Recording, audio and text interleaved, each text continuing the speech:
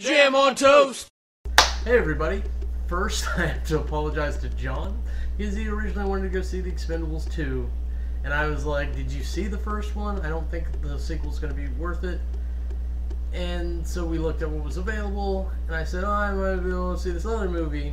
But lo and behold, I had forgotten the previous parts of the franchise, and we're just concentrating on the good bits. Like we all want to be hopeful and optimistic. So we went and saw Resident Evil Retribution, and the short sell of the movie is that Alice is on some boat, Umbrella shows up, blows the crap out of it, takes her back to some facility which she ends up escaping with some help from Wesker and a strike team that he sends in. Uh, so she fights her way out of the entire facility with this clone that thinks she's her mother. It's decently entertaining throughout that. The whole time the Red Queen's sending biohazards after them.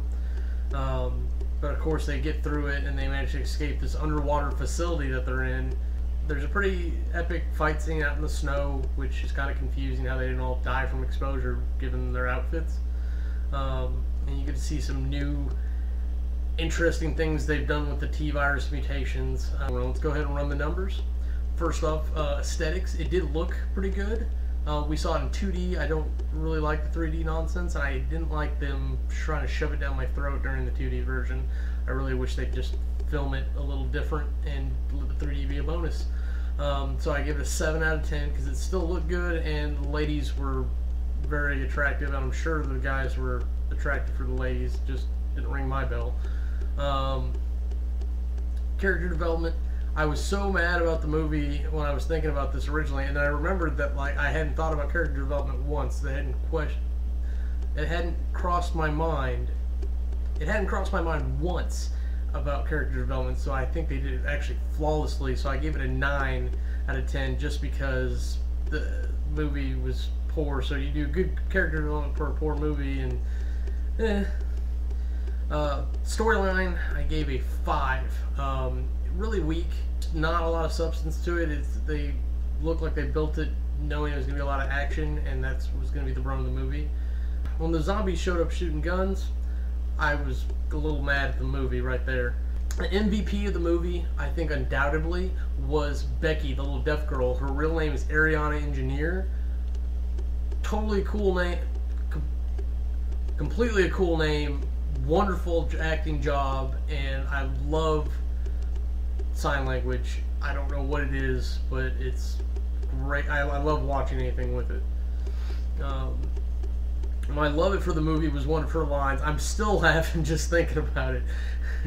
she meets the Michelle Rodriguez clone who's not a soldier and says this line like, I met your sister.